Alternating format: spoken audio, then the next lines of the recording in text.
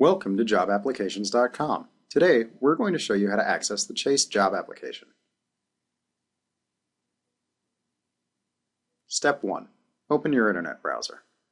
Type job-applications.com in your browser's search address bar.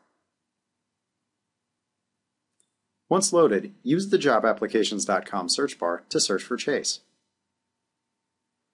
Click on the Chase job application result. At the next screen, scroll down to see the information available for Chase. You'll see what positions are available, the minimum age requirements for employment consideration, their hours of operation, and a biography with pertinent information for Chase. Read through this information carefully to ensure you qualify for the position you desire. Click on Apply for Jobs at Chase. The following screen provides a direct link to the online application process for Chase.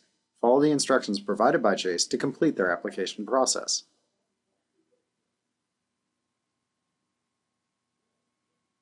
Make sure to return to jobapplications.com for more helpful information about landing your next career as well as completing the application process for many more companies.